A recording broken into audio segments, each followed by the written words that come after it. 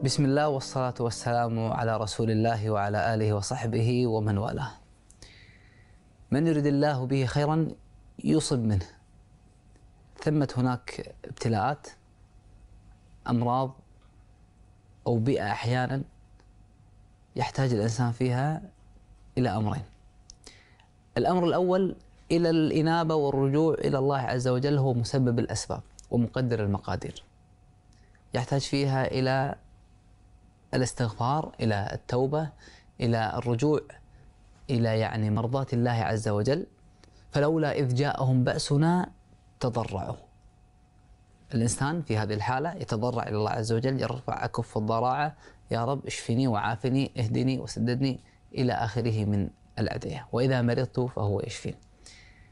هذه الابتلاءات تحتاج في الجانب الآخر مع رجوع المريض نفسه إلى الله عز وجل. وأيضا أهل المريض أو أهل المبتلى إلى الله عز وجل فإنه كذلك يحتاج إلى تعامل آخر من يعني الناس وممن حوله.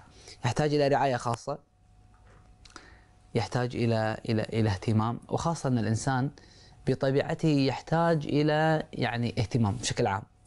في بعض الظروف وبعض الأوضاع يحتاج الإنسان إلى الرعاية خلينا نقول اللي خلينا نقول الدقيقة شوية يعني ها؟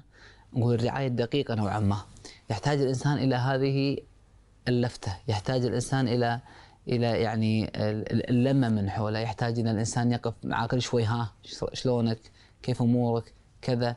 إلى آخره وأي ابتلاء آخر كذلك، إذا كان مبتلى الإنسان مثلا آه، بمصيبة من مصائب مصائب الحياة فيحتاج كذلك من الناس ان يذكرون بالله عز وجل وأن يذكرون بقصص السابقين ويعني أشد الناس بلاء الأنبياء ثم الأنبياء ثم الأمثل فالأمثل.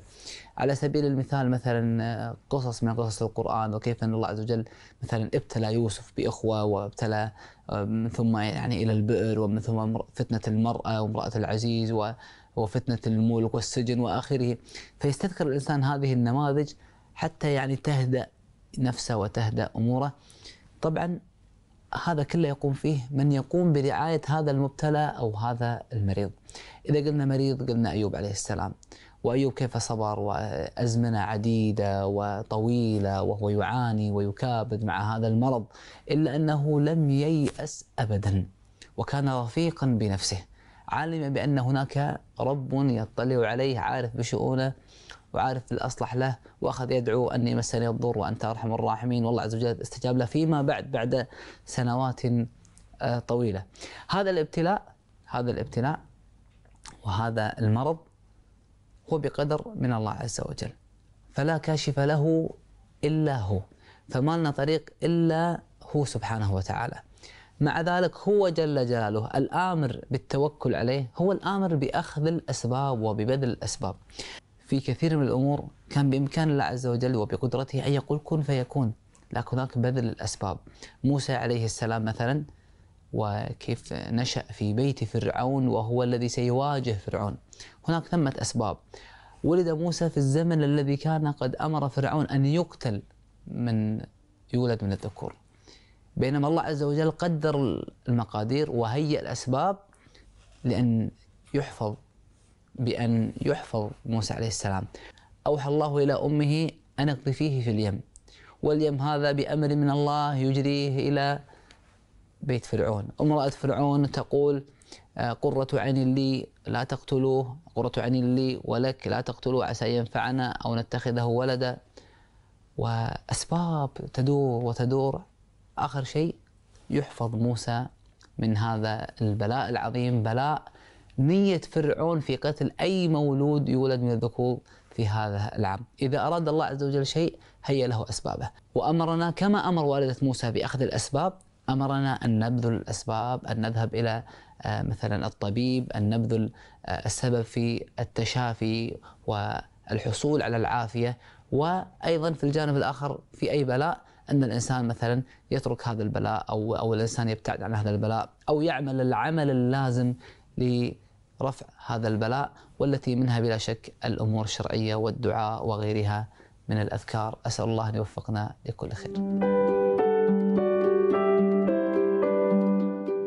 من جملة الابتلاءات والأمراض اللي تصيب الإنسان مرض التوحد مرض التوحد هذا المرض المؤلم واللي مزعج نوعا ما وإن الإنسان يعني يشعر بشيء من الأسى والحزن واللي هو ليس نهاية المطاف.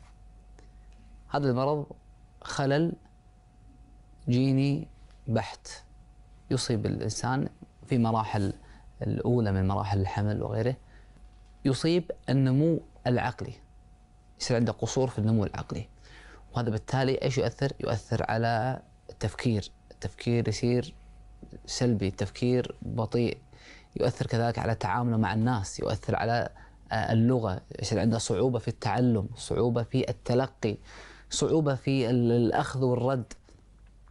فيكون هو يعني بهذه الصورة منعزل، فيميل إلى العزلة تلقائيا، ما يحب يكون مندمج مع الناس، يحب خلاص إنه يتم بروحه وإلى آخره. هذا الأمر يجعل الناس يرغبون زيادة على رغبة المريض في عزلته. وهذا الأمر اللي إحنا يعني ما ندعو إليه ولا نحبذه بل ودنا أن يكون هناك شيء من الدمج في المجتمع مع مرضى التوحد. مرضى التوحد يحتاجون إلى عناية خاصة والحمد لله هناك مدارس تحتويهم، هناك بعض المراكز اللي تحتويهم وهناك بعض الجهات التي ترعى شؤونهم وترعى اهتماماتهم وتحاول أن يعني أن يكونون يعني مندمجين نوعا ما المرض الابتلاء ليس نهاية الحياة.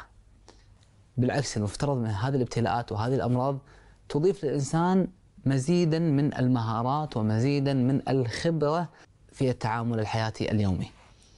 بالتالي لا ينبغي للإنسان وحريم الإنسان العاقل أن يحاول دمج هؤلاء الفئة في المجتمع. وان يكونون منا وفينا غير المعقول أن أنا أعزلهم وأتركهم وخلاص هذا المرض مو اختاره حتى أنا أعزله حتى أنا والله أقول نبعد عنه ولا أقول هذا خلوه في المكان الفلاني. هذا مرض الله عز وجل ابتلاهم فيه ويريد أن يرفع من درجة أهله ويريد هذا الإنسان أن يدخل الجنة بلا حساب. فبالتالي لا ينبغي لنا أن نتحاشى هؤلاء الفئة ولا أن نهضم حقهم ولا أن نجعلهم بعيدين عنا وعن مجتمعنا. بل نوفر الأمور التي يحتاجونها واللي تجعلهم أكثر اندماج في المجتمع وأكثر اندماج في هذه الحياة. إن كان هذا الأمر من الناحية التعليمية إن كان هذا الأمر من الناحية التربوية حتى ترى قضية الدمجة في المجتمع نربي الأطراف الأخرى نربي الأبناء نربي بعض الآباء نربي يعني الجهات الأخرى نربي الأطفال على معرفة هذه الفئة وعلى أيضا يعني كيفية تعاملهم آه، معهم. يعني بدل لا يصير موقف أن أنا والله إذا شافوا قد هذا الطفل يوم من الأيام يروح ويشوف آه، طفل أو أو أو أحد المرضى المصابين بالتوحد. هل مثلا تكون ردة فعل ردة فعل معينة محرجة للطرف الآخر أو لأهل هذا المريض؟ هذه ممكن تحصل متى؟ تحصل إذا لم يكن هناك اندماج أو لم يكن هناك معرفة من الأطراف الأخرى ومن ومن سائر المجتمع تجاه هذه الفئة المحتاجة إلى الرعاية الخاصة والعناية البالغة وإلى كذلك معرفة ما يريدون وما يحتاجون وما يكون يعني دافع لدمجهم في المجتمع الواحد. من جملة الأمور المهمة هي كيفية معاملة أهل المريض للمريض نفسه هذا المريض يحتاج منك أنك أنت والله تعتني به عناية معينة. توفر له سبل الراحة الدخلة مثلا مدرسة خاصة آه، توفر له بيئة يعني جزء من يوم مثلا توفر له بيئة مناسبة مثلا نادي معهد أيا كان. توفر له بيئة مناسبة يعني قد يخرج مثلا طاقته مثلا إذا كان عنده طاقة معينة أو أو يهوى شيء معين. أو إن المختصين مثلا يقولون في مثلا مكان ما مفيد أو لعبة معينة أو نشاط معين ممكن لهذا المريض أن يعني يعمله وأن يمارسه وأن يكون فيه ولو جزء من يومه أحاول أن أوديه. المهم يا أحبنا لما نتعامل مع المرضى أو نتعامل مع مرضى التوحد بشكل خاص أن نتعامل مع الله عز وجل. سنؤجر في تعاملنا مع هذه الفئة. ندمجها في المجتمع نوفر لها ما تحتاج ونحاول ولو دمج جزئي مع كل أفراد المجتمع اللي منهم الأطفال. لابد للأطفال أن يعرفوا هذه الفئة. هذه الفئة فئة مهمة وفئة موجودة بكثرة موجودة عندنا في البلد وموجودة في مجتمعنا فتحتاج إلى دمج حقيقي ودمج واضح ولو جزئي يعني إذا كان مثلا مجتمع معين أو أو أو مثلا مدرسة أو جزء من اليوم أنا ممكن أختلط مع هذه الفئة أختلط إذا كان حالة هذا المريض ما تسمح أن طول اليوم ما في مشكلة طول اليوم يعني يكون في في في مكان في مكانه المخصص ومثلا جزء من هذا اليوم يكون مدموج في المجتمع. المهم أن لا يكونوا في عزلة تامة، هذا الأمر صحي و و ومناسب للطرفين للمريض ولسائر المجتمع.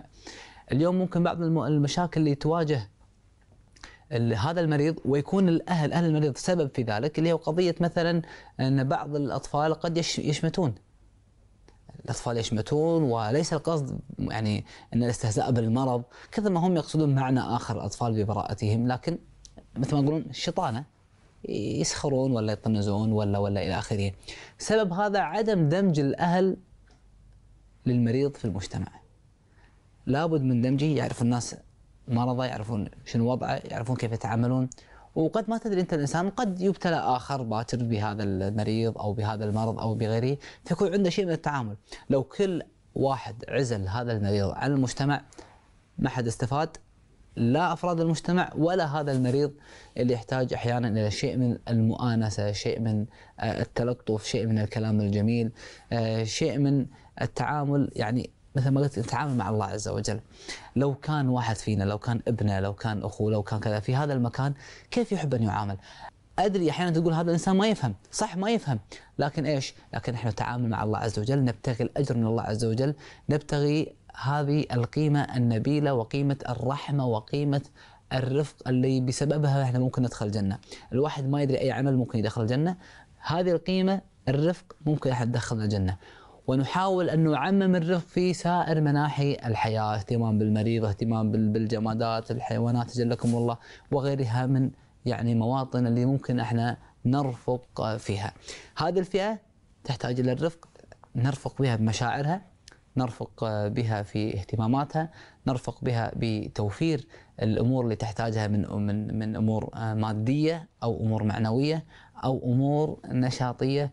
هذا الأمر وايد مهم. هذا الأمر يجب أن يعني يكون من ضمن اهتمام الاولي للأهل وحتى الدولة وحتى المجتمع وينبغي أن يكون الوعي يعني وعي كامل بهذه القضية. القضية الحساسة التي يجب يعني أن نتفهمها حق الفهم. أسأل الله أن يوفقنا لكل خير.